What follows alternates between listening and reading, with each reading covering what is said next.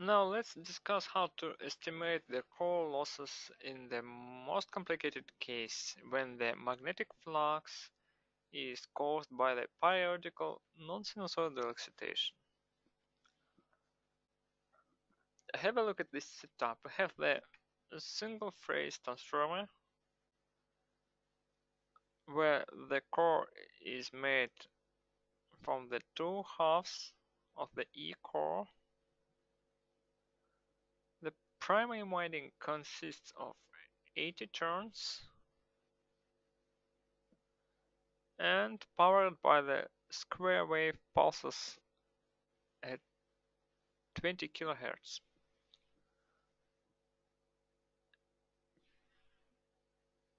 We need to estimate the core losses in the no load mode. QuickField model which corresponds to this description is already prepared. Here it is. The problem formulation is obviously the transient magnetics. And there are the following objects in the geometry model. There is the core with the magnetic permeability of 2700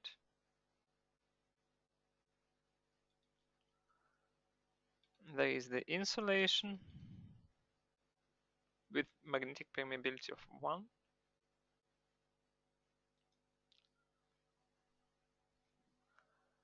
there is primary winding right side and the left side of the winding. And the winding consists of 80 conductors. The conductors are connected in series the electric conductivity of copper is specified.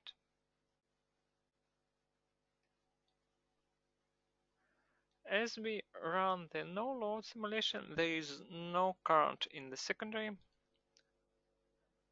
and it is represented by the single block with zero electric conductivity and zero electric current.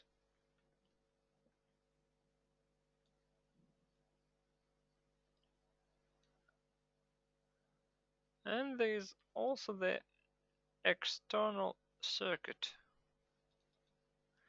In the external circuit, the two halves of the winding are connected in series to the voltage source. You see the voltage source is specified uh, with this equation.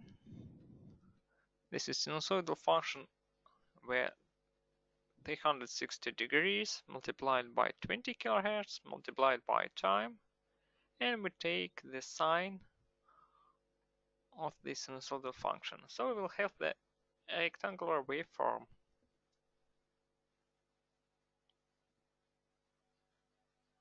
The problem is already solved, so let's take a look at the result.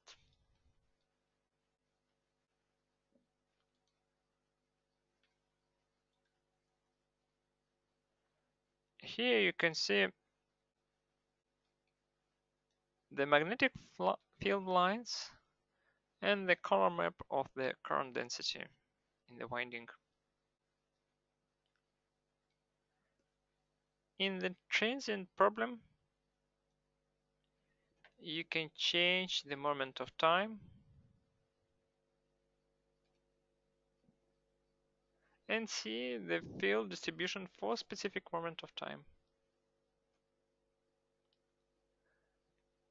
And in this particular case, we also have the electric circuit and can see the currents and voltages in the electric circuit.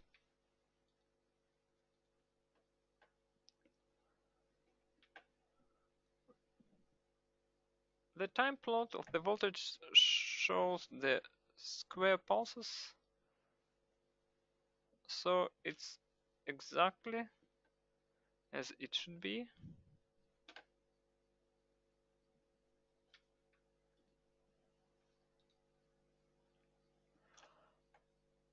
But the current pulses in the primary winding are not square. They have triangle shape and current follows the voltage with some delay caused by the eddy currents and the magnetic flux in the core will follow the shape of the current and this shape is definitely not sinusoidal. So the Bertotti expression used in AC magnetics model of QuickField for losses calculation cannot be used.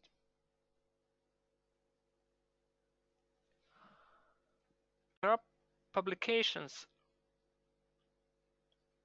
offering various methods for calculation of the losses in pulsed fields. And in the report published by Dr. Sullivan and Dr. Harris from Dartmouth University, core losses for rectangular waveforms were analyzed and the practical approach was proposed. It is based on the Steinmetz-like formula which takes into account the amplitude of the square wave flux density, the frequency, and several numerical coefficients which should be found for specific material of the core.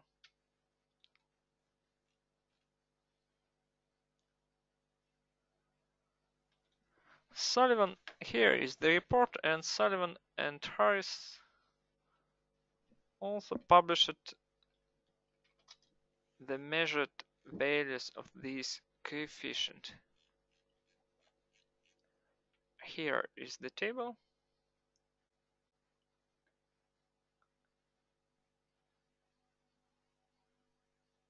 And this is are the values of the coefficient for the our type of the core, this line. K alpha 1 beta 1 K2 alpha 2 beta 2.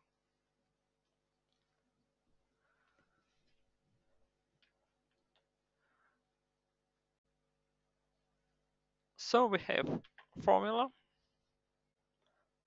to calculate the losses. We know the frequency. We have the coefficients for this type of the core and QuickField simulation gives us the distribution of the flux density at any moment of time. But how to combine all these together and perform integration of the losses over the volume of the core?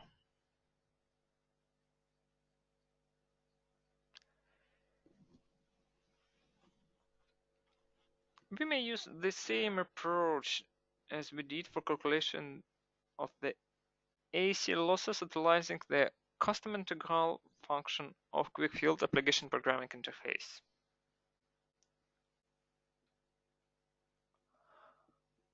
All we need to do is select the moment of time when the fluxes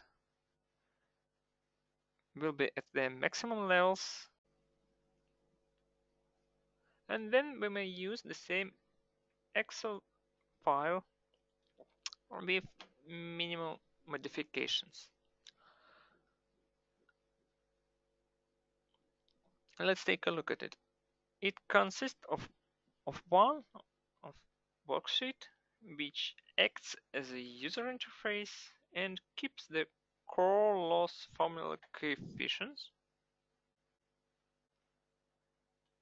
and also the cell where the elementary losses are calculated. When we press button calculate core losses, the Excel macro runs.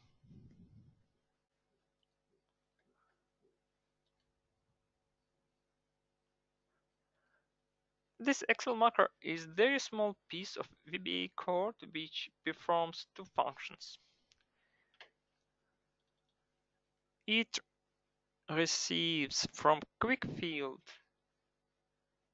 the value of the flux density in each point included in the integration area. This value of the flux density we put in the b underscore cell in our spreadsheet in this cell.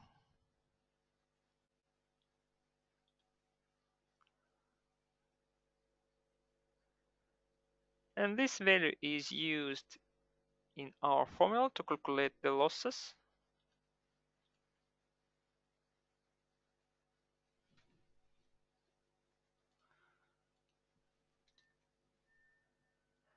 And after the losses density in point is calculated,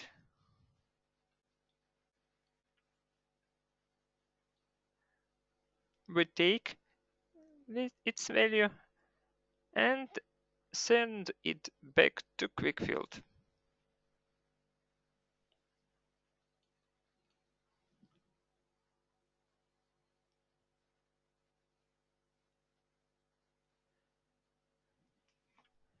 In previous example, we used the custom integral formula which was based on three coefficients and now we have the formula which uses six coefficients and takes the maximum of two calculation results. As I said, we need to adjust the field picture that it will show the maximum value of the flux density. So let's open the circuit simulation result.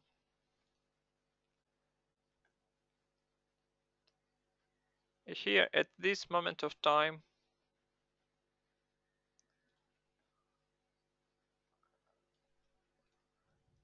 at this moment of time we will have the maximum values of the flux density which is 9.25 times 10 to the power of minus 4. So I will adjust the field picture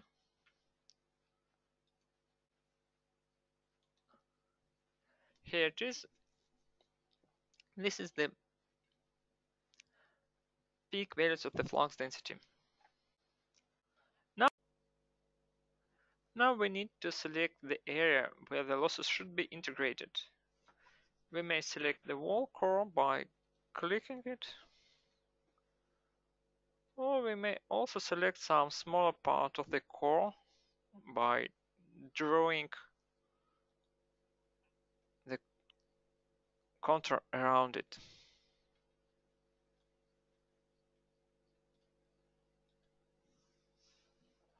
Our Excel spreadsheet will work with any shape of the selection.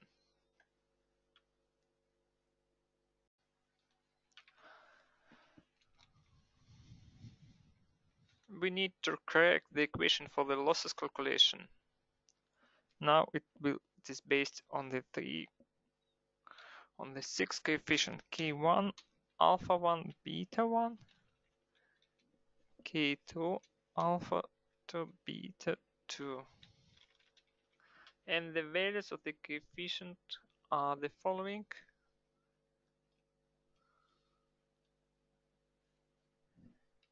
Eighteen point oh two,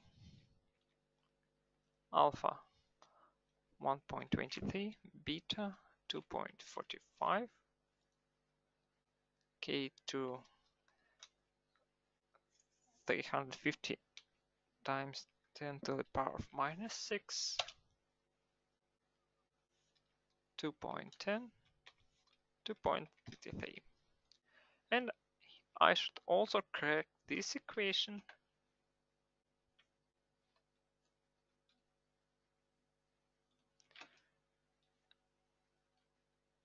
Which is maximum of two terms. Maximum.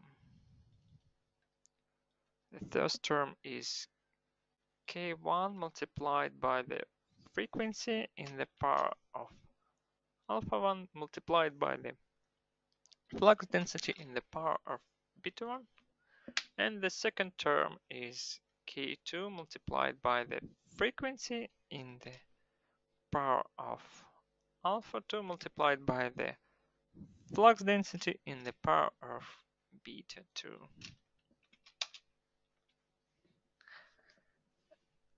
And we should also specify the correct value of the frequency, which is 20 kilohertz.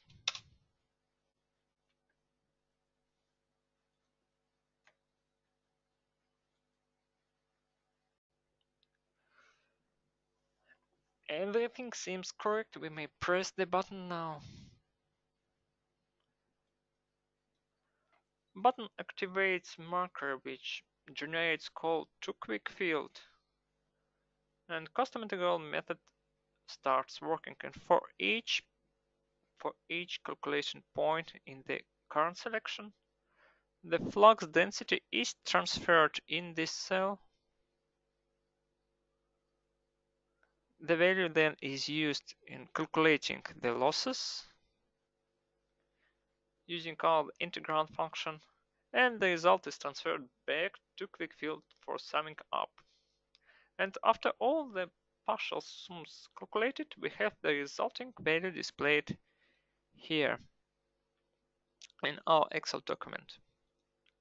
This is the resulting value. The total loss, total core loss in this piece of the core.